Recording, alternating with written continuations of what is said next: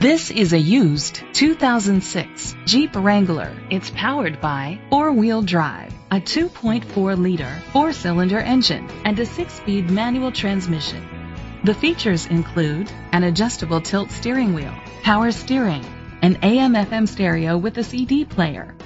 Safety was made a priority with these features: a passenger airbag, front ventilated disc brakes. Great quality at a great price. Call or click to contact us today.